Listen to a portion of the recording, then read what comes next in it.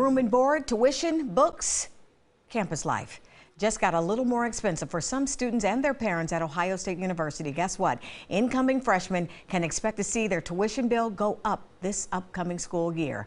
NBC4's Tyler Carter is live on campus with more on the dollar details on this one. Hey, Tyler. Hey Darlene, Ohio State says that they will increase tuition and fees for incoming in-state freshmen by 3.3%. You know, that increase equates to a $358 change from last year's rate, according to a proposal presented to the university's Board of Trustees. This will be OSU's third class to join the university under the Ohio State Tuition Guarantee.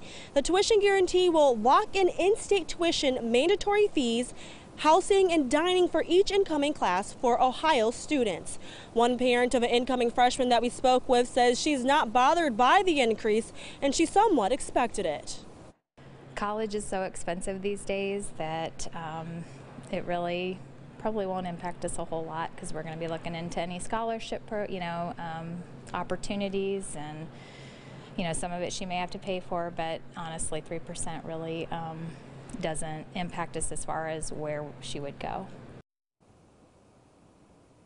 In the past, two entering classes are part of that tuition guarantee. This means the cost will not change from when they entered in their freshman year.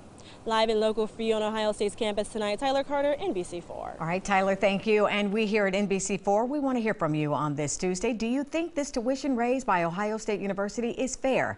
If you head to our website, nbc4i.com slash join, you can let us know how you feel on this matter. We'll have the results coming up right here on NBC4 a little bit later on at 5 o'clock.